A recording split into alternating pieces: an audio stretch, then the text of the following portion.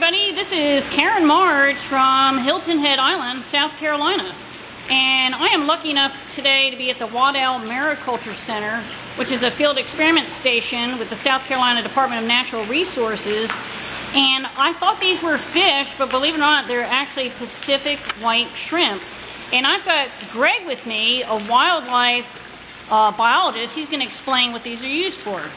Um, primarily here at the center we use the Pacific white shrimp for research studies and they're non-native um, to this area obviously um, but they're a good species and um, good species to do research on because they're very hardy, they grow fast.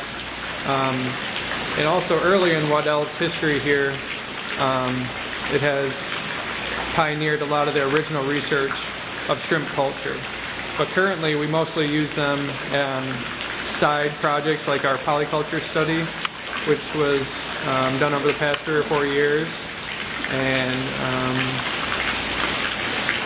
I think that's about it for white shrimp. We're Woo! not doing a whole lot more these days but with them. Fantastic. All right, everybody, we're signing off live from really Bluffton, South Carolina, just over the bridge from Hilton Head.